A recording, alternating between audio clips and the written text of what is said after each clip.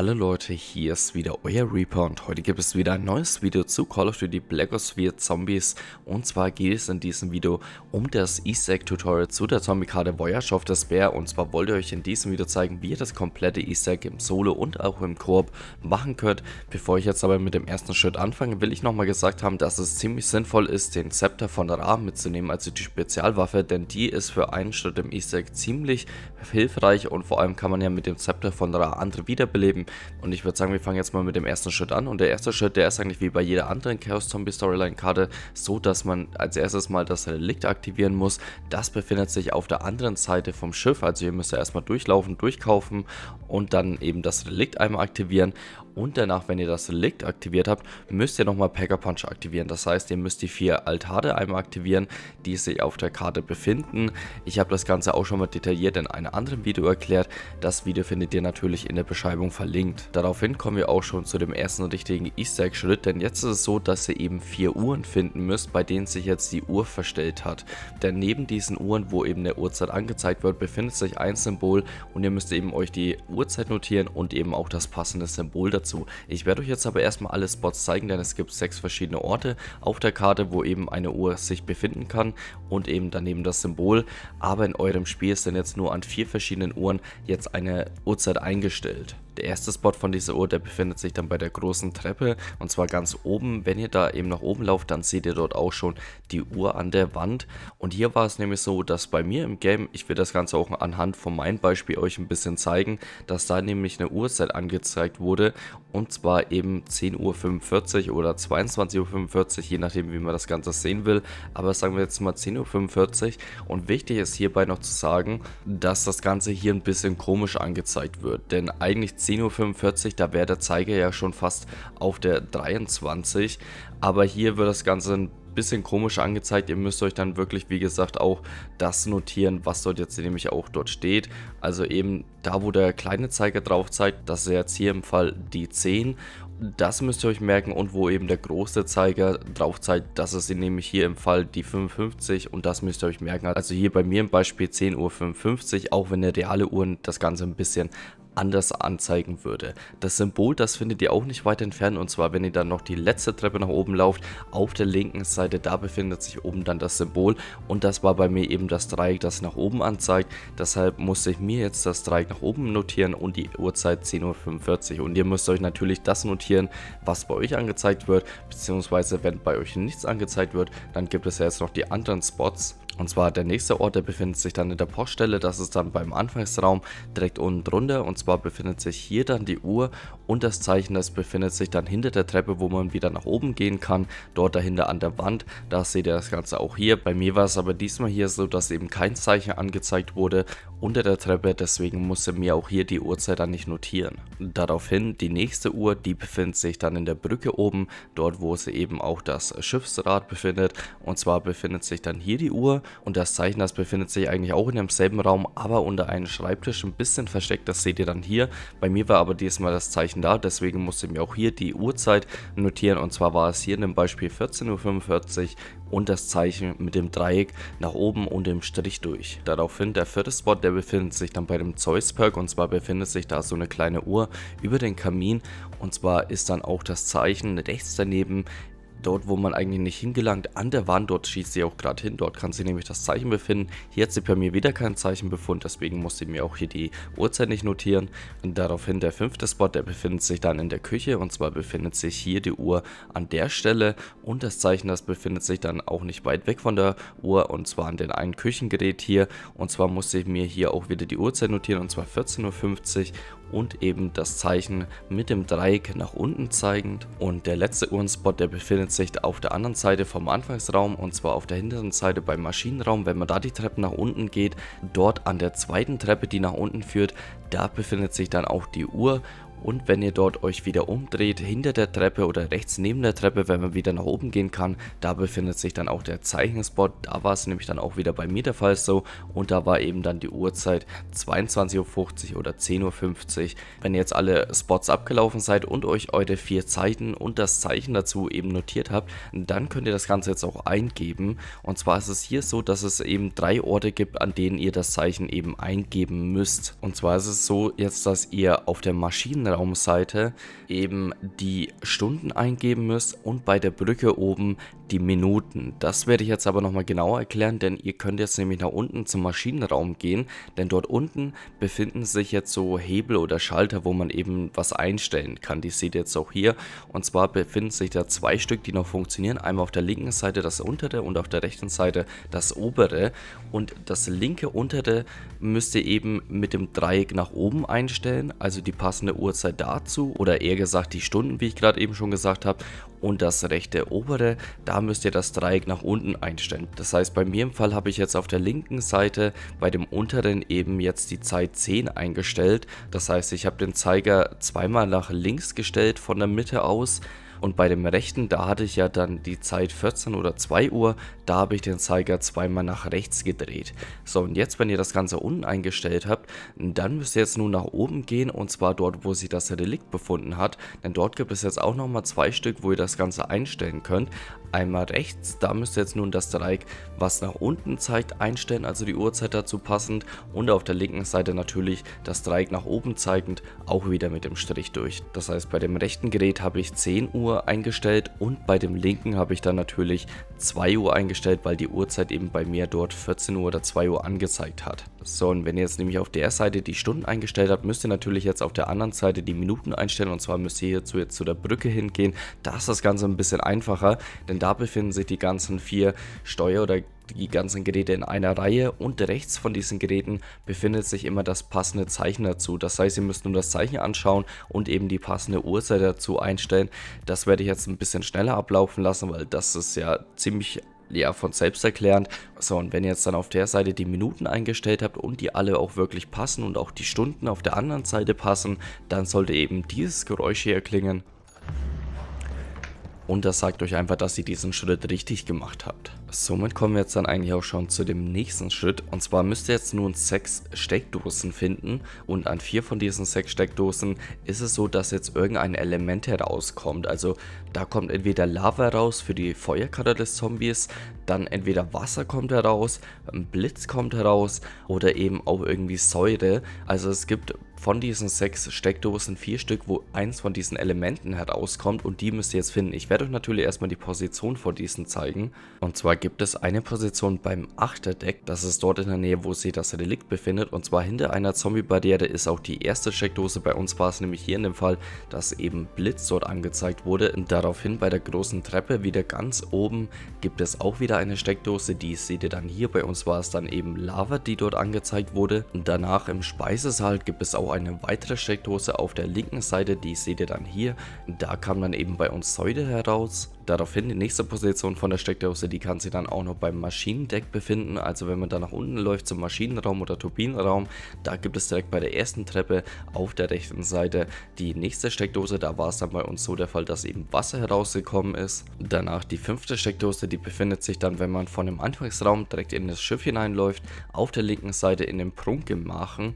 Da kann sich eine weitere Steckdose befinden und zuletzt gibt es dann noch eine letzte Steckdose und zwar beim Zeus Perk und zwar links davon an dieser kleinen Säule, da kann sich dann auch die letzte Steckdose befinden, wo sie auch bei euch etwas dann herauskommen könnte. Wenn ihr jetzt die vier Steckdosen gefunden habt, wo eben diese vier Elemente herauskommen aus den Steckdosen, ist jetzt eure nächste Aufgabe, bei jeder von diesen Steckdosen einen Katalyst-Zombie zu töten, aber natürlich den passenden Katalyst-Zombie. Das heißt, den Feuer-Katalyst-Zombie, den müsst ihr bei der Feuersteckdose töten, den Blitz bei der Blitzsteckdose und so weiter. Und jedes Mal, wenn ihr eben den richtigen da getötet habt, dann ist es so, dass eben so ein Symbol oder so ein Kreis auf dem Boden erscheint, so ein roter. Und das zeigt euch einfach an, dass ihr das Ganze richtig gemacht habt. Also, und wenn ihr jetzt nämlich an jeder dieser Steckdosen dieses Symbol habt, beziehungsweise den passenden Catalyst Zombie getötet habt, dann kommen wir auch schon zum nächsten Schritt. Und zwar werde ich diesen aber jetzt nicht so unbedingt so genau erklären, weil das auch ziemlich selbsterklärend ist. Ihr müsst jetzt eigentlich nur wissen, dass ihr jetzt nun euch auf diese Symbole draufstellen müsst. Also alle Spieler, die in einem Spiel sind, müssen sich auf das Symbol draufstellen und danach einmal die Aktionstaste drücken. Denn danach werdet ihr in einen bestimmten Bereich teleportiert und müsst dort eben überleben. Deswegen rüstet euch da nochmal vorher aus. Und was noch wichtig zu sagen ist, es gibt hier eine bestimmte Reihenfolge, in denen ihr diese Symbole betreten müsst oder diese Challenges machen müsst. Und zwar müsst ihr zuerst durch das Poison oder durch das Giftportal gehen, danach Wasser, danach Elektro und danach Feuer. Ihr seht die Reihenfolge auch nochmal hier eingeblendet. In der Reihenfolge müsst ihr durch diese Portale bei den Steckdosen gehen. Also da wie gesagt müssen sich alle Spieler hinstellen und dann die Aktionstaste drücken und dann werdet ihr dort automatisch hin teleportiert. Und wenn ihr eben die richtige Reihenfolge einhaltet und eben alle vier Challenge-Runden so gesehen überlebt habt, dann habt ihr auch diesen Schritt wieder geschafft. Eure nächste Aufgabe ist es jetzt nun als nächstes die Kraken euch zu holen, also entweder aus der Kiste oder mit dem gratis Easter Egg, was ihr natürlich auch verlinkt in der Beschreibung findet. Und zwar ist es jetzt so, dass ihr noch als nächstes eben von den Säure-Zombies dieses Teil dafür benötigt, damit ihr das Ganze upgraden könnt. Ihr müsst die Kraken nicht Packer punchen, das ist nicht nötig. Ihr müsst dies einfach nur zu dem Säure- oder Gift-Upgrade machen. Also von diesem Säure-Zombie so ein Teil euch abholen. Wenn ihr eben mit der Kraken so einen Säure-Zombie abgeschossen habt, dann kann es eben passieren, dass so ein Teil eben spawnt und das müsst ihr aufnehmen und diese dann upgraden. Wenn ihr jetzt nun die Säurekraken habt, müsst ihr jetzt nun in den Turbinenraum gehen, denn dort befindet sich jetzt eben an den Rohren eben neun Stellen, wo Wasser heraustropft. Und da müsst ihr eben genau an die Stelle hinschießen. Es wird euch dann auch eben ein Fadenkreuz angezeigt, dass ihr das Ganze richtig gemacht habt. Und es gibt hier in den Raum, in diesem Turbinenraum, neun Stellen, wo das Ganze passiert. Ich werde das Ganze jetzt mal unkommentiert mal ein bisschen schneller ablaufen lassen, damit ihr die ganzen Stellen mal seht. Aber ich werde das Ganze jetzt nicht unbedingt die ganze Zeit kommentieren,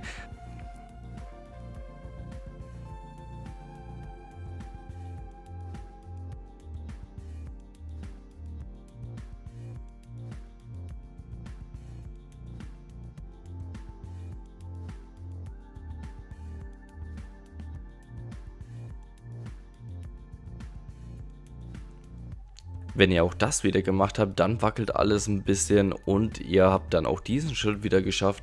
Und als nächstes müsst ihr jetzt nun das Artefakt, was ihr am Anfang aufgenommen habt, in den Packer-Punch-Automaten beim Turbinenraum platzieren. Sollte es der Fall sein, wie bei uns, dass jetzt eben der Packer-Punch-Automat oder die Maschine oder das Portal irgendwo anders da ist, dann müsst ihr einfach nur die Runde zu Ende spielen, denn dann wird der Automat oder Packer-Punch automatisch zum Turbinenraum teleportiert am Anfang der nächsten Runde und ihr könnt dann dort einfach in den Packer Punch Automaten das Relikt reintun und danach wieder aufnehmen und somit ist dann auch dieser Schritt schon wieder gemacht. So und jetzt sind wir eigentlich schon fast bei dem letzten Schritt angelangt, der ein bisschen komplizierter zu erklären ist beziehungsweise auch ein bisschen aufwendiger ist. Deswegen schaut das erstmal ein bisschen an das Ganze und macht das Ganze danach, weil sonst versteht ihr das Ganze nicht, was jetzt eigentlich abgeht beim nächsten Schritt. Und zwar ist es jetzt so, dass auf der Karte schon von Anfang an überall solche Symbole sind, die zu irgendeinem Planeten dazugehören. Das heißt, es gibt für den Merkur ein Symbol, es gibt für die Sonne ein Symbol und so weiter. Es gibt insgesamt neun Symbole für eben neun Planeten. Und ihr müsst jetzt als erstes, also eure erste Aufgabe ist es erstmal mit der Aktionstaste jedes einzelne Symbol einmal zu aktivieren. Ich werde euch erstmal die ganzen Orte zeigen, wo sich diese Symbole befinden und danach kommen wir zu dem nächsten Schritt, was ihr darauf folgend machen müsst. Und auch hier noch ein kleiner Hinweis, ich werde in der Beschreibung eine kleine Liste haben, wo ich nochmal drinstehen habe, welches Symbol zu welchem Planeten gehört und wie dieser Planet aussieht, damit ihr einfach nochmal in der Beschreibung so eine kleine Liste habt, was zu was eigentlich gehört. Aber das werde ich auch gleich nochmal ansprechen. Kommen wir zu dem ersten Symbol und das befindet sich dann direkt dort, wo ihr spawnt am Anfang und zwar oben. Dort befindet sich nämlich das Symbol von der Sonne. Danach das Symbol für den Merkur, das befindet sich dann in dem Postraum und zwar hier nämlich direkt links an der Wand, wenn ihr die Treppe nach unten lauft. Daraufhin das dritte Symbol ist für die Venus und das befindet sich in der Millionär-Suite sieht. Und zwar hier unter diesen kleinen Kästchen oder dort ein bisschen versteckt. Daraufhin das vierte Symbol für den Mond. Das befindet sich dann bei der großen Treppe und zwar beim Restaurant in der Nähe. Und zwar wenn ihr direkt von der Treppe nach rechts lauft, an der Wand, dort befindet sich dieser Mond. Daraufhin das fünfte Symbol, das ist der Mars und der befindet sich dann im Boilerraum oder beziehungsweise dort beim Maschinenraum auf der oberen Etage hinter dem Odin Perk. Auch ein bisschen versteckt, da müsst ihr euch auch hinlegen, um das Ganze aktivieren zu können. Dann das sechste Symbol, das ist dann für den Saturn und das befindet sich dann in der Brücke auch ein bisschen versteckt hier in diesem Raum drin. Dann der siebte Planet, der Jupiter oder das Symbol dazu, das befindet sich dann auch im Maschinenraum und zwar dann beim Odin Perk selbst also direkt davor. Dann das vorletzte Symbol für den Neptun, das befindet sich dann bei den Achterdecks und zwar auf der rechten Seite und zwar in diesen kleinen Rettungsschwimmen drin Und der letzte Planet, der Uranus oder das Symbol dazu, das befindet sich dann in den State Rooms oder in den Gemächern hier, wenn man direkt vom Anfangsraum in das Schiff hineinläuft. Und zwar dazwischen in diesen kleinen Baderaum oder Handtücherraum, was auch immer das ist, da befindet sich dann das letzte Symbol hinter der Pflanze. So, und wie gesagt, ihr müsst jetzt erstmal die ganzen Symbole aktivieren, wie ich das jetzt hier in dem Video gemacht habe. Und wenn ihr das gemacht habt, dann müsst ihr jetzt nun zu dem Verdachtraum gehen, denn dort befindet sich jetzt ein Solarsystemmodell und das müsst ihr jetzt einmal aktivieren. Aber wie gesagt, wartet noch ab, schaut erstmal an, was ich jetzt hier eigentlich mache, denn die Sache ist jetzt, ihr müsst euch jetzt irgendwie merken, also wenn ihr ein Aufnahmegerät habt, dann ist das Ganze von ziemlichem Vorteil, aber ansonsten müsst ihr euch irgendwie ganz schnell merken, in welcher Reihenfolge jetzt die Planeten aufblinken. Die leuchten jetzt ziemlich schnell weiß auf und ihr müsst euch jetzt diese Reihenfolge eben merken. So, und wenn ihr euch jetzt irgendwie die Reihenfolge gemerkt habt, ihr könnt das Ganze auch meines Wissens nochmal wiederholen, aber glaube ich erst ein bisschen später, beziehungsweise auch wenn ihr das fade, dann könnt ihr das Ganze nochmal wiederholen.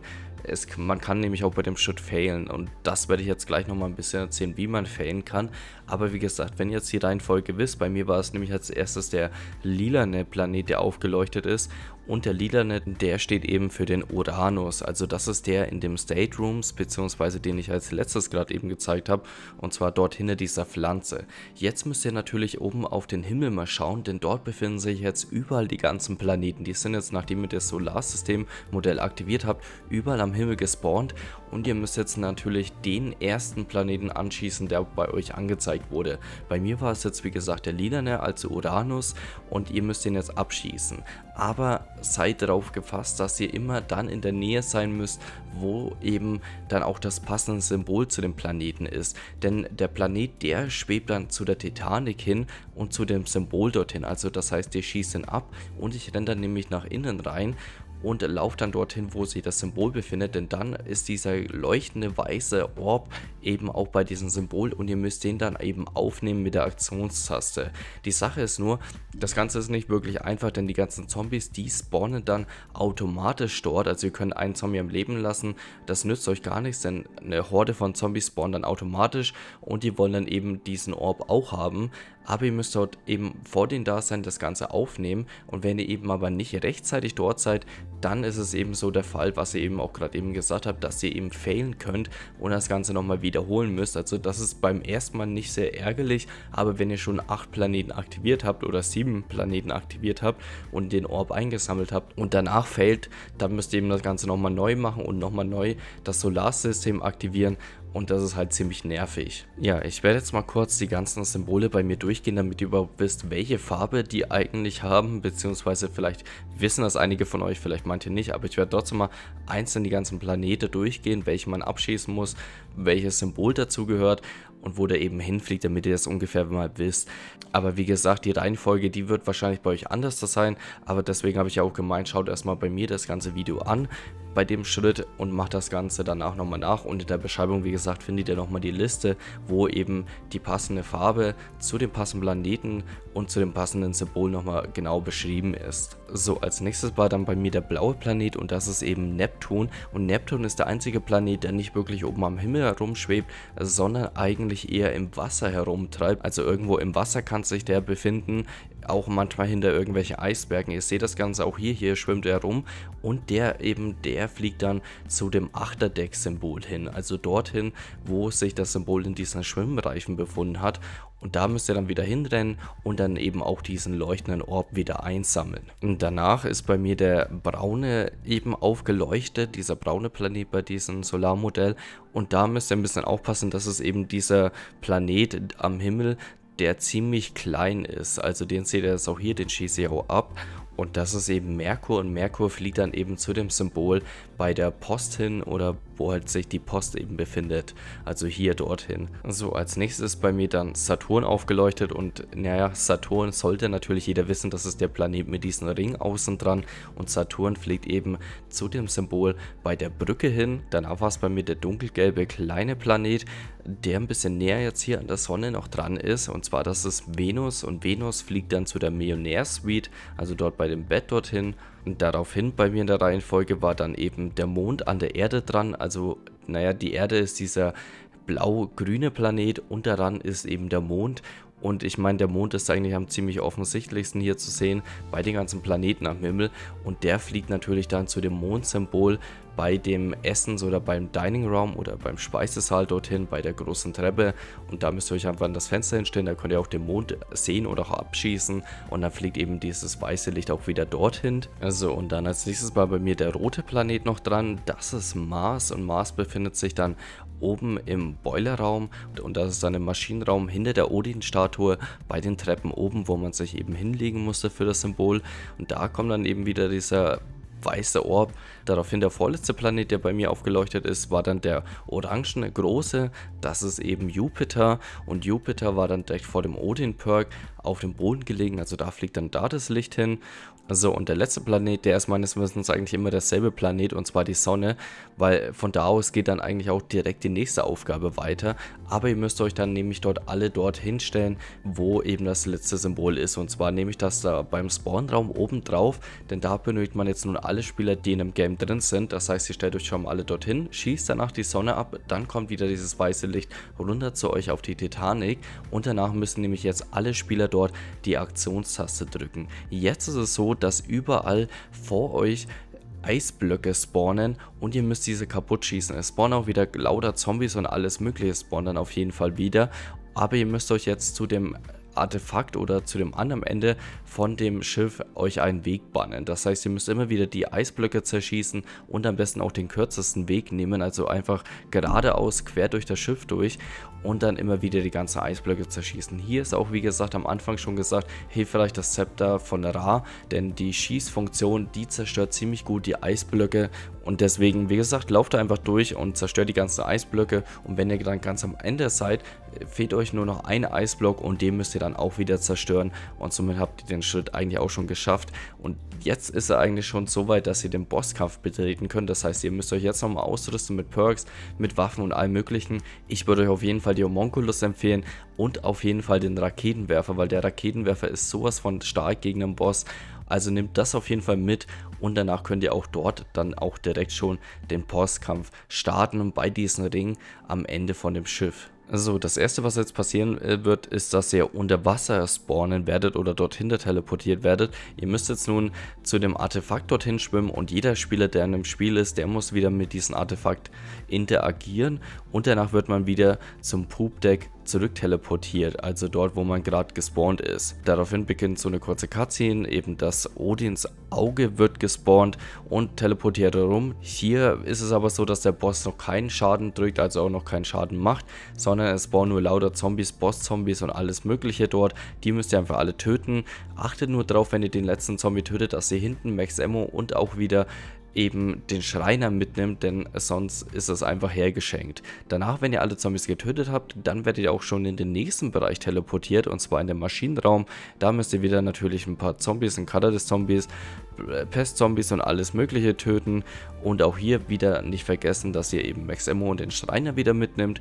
Und danach werdet ihr nochmal teleportiert und zwar diesmal in den Räumen dort direkt beim Anfangsraum, aber hier ist es jetzt so, dass ihr ein bisschen aufpassen müsst, denn das Auge, das spawnt jetzt ab und zu vor diesen Räumen und schießt durch die Gänge hindurch. Und da solltet ihr nicht unbedingt drinstehen, sonst werdet ihr ziemlich ja, gegrillt, aber ihr müsst dann in dem Moment, wo eben das Auge diesen Schuss macht, auch auf das Auge drauf schießen. Denn genau in dem Moment, wo eben das Auge schießt, ist es eben so, dass das Ganze angreifbar ist und ihr eben auch mit dem Raketenwerfer zum Beispiel drauf schießen müsst und dem Auge Damage drücken müsst. Wenn ihr dem Auge genügend Schaden gemacht habt, ist es so, dass ihr dann wieder teleportiert werdet und zwar zu dem Bereich an der Seite von dem Schiff. Und zwar ist es hier auch wieder eigentlich dasselbe Spiel. Es spawnen wieder Zombies, Pestzombies und alles mögliche und eben das Auge, das schießt ab und zu auf euch und in dem Moment, wo das Auge auf euch drauf schießt, müsst ihr auch wieder auf das Auge drauf schießen, damit ihr dem Auge eben Schaden macht. Ja, und wenn man wieder hier auch genügend Schaden gedrückt hat, dann ist es so, dass man eigentlich in die letzte Phase gekommen ist. Und zwar ist man dann wieder dort, wo das Ganze begonnen hat. Und zwar ist es aber hier noch so eine kleine Sache, die ihr beachten müsst. Denn sonst habt ihr ziemlich schnell einen Gruppensuizid, denn ja, dann ist alles vorbei. Und zwar ist es so, dass ab und zu das Auge ziemlich laut schreit. Also es schreit wirklich euch an und in dem Moment macht es so eine super Attacke. Und auch in dem Moment müsst ihr auf das Auge wieder alles mögliche draufschießen, damit es eben diese super Attacke nicht ausführt. Weil wenn es das Auge schafft, dass es diese Attacke ausführt, werdet ihr alle sofort getötet. Also da müsst ihr wirklich aufpassen, dass ihr da vorher einen Homunculus werft vielleicht und dann direkt auf das Auge alles mögliche drauf schießt, damit es eben diese Attacke nicht ausführen kann. Und ansonsten ist eigentlich auch hier wieder das Spiel genau dasselbe. Es spawnen immer wieder Zombies, ab und zu schießt das Auge wieder so eine normale Strahlenattacke, dann müsst ihr wieder auf das Auge drauf schießen und das immer wieder wiederholen. Und irgendwann, wenn ihr genügend wieder Schaden gemacht habt, habt ihr das Auge endlich besiegt und ihr habt auch den Bosskampf somit geschafft geschafft und somit wünsche ich euch eigentlich erstmal herzlichen Glückwunsch, denn ihr habt das Easter Egg geschafft und ich hoffe natürlich, ich konnte euch dieses Easter Egg, auch wenn es ein bisschen komplizierter war zu erklären, so gut und so einfach wie möglich euch erklären, damit ihr das Ganze auch geschafft habt. Und damit sage ich jetzt einfach nur, ich hoffe natürlich, euch hat das Video gefallen und auch weitergeholfen. Bis zum nächsten Mal. Euer Reaper.